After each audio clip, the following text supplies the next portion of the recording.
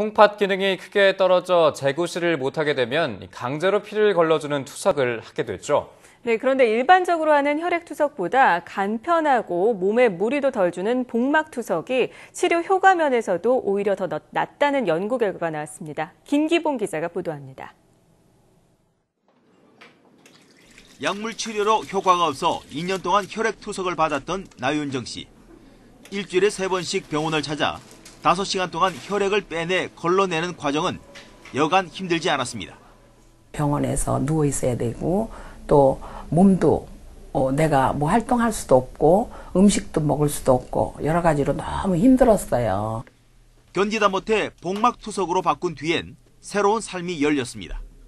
하루 세 번 본인이 주머니만 갈아주면 별 지장 없이 일상생활을 할 수 있기 때문입니다. 복막투석은 배 수액을 넣으면 복막의 삼투압 작용으로 자동으로 노폐물이 걸러집니다. 이열규 씨는 복막 투석을 한 채 힘든 벼농사와 마을 이장 일도 거뜬히 해내고 있습니다.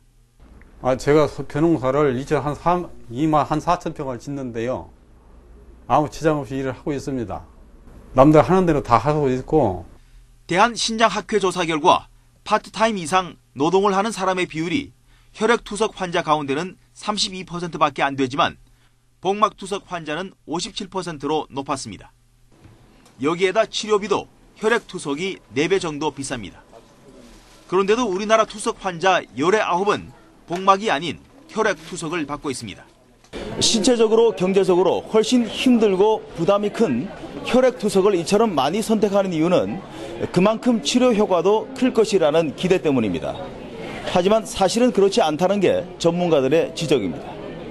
생존율에 차이가 없었고 콩팥을 이식받을 경우 1년 후 생존율은 복막투석 환자가 오히려 더 높은 것으로 나타났습니다. 따라서 병원도 환자도 혈액투석에만 의존할 게 아니라 복막투석의 이점도 보다 적극적으로 고려해야 한다는 지적입니다.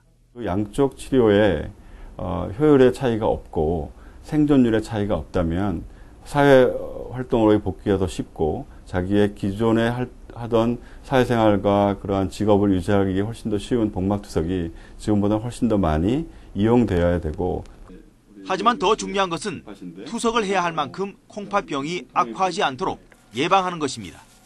특히 콩팥병은 초기에 별 증상이 없기 때문에 평소 관심과 검진이 필요합니다. YTN 김기봉입니다.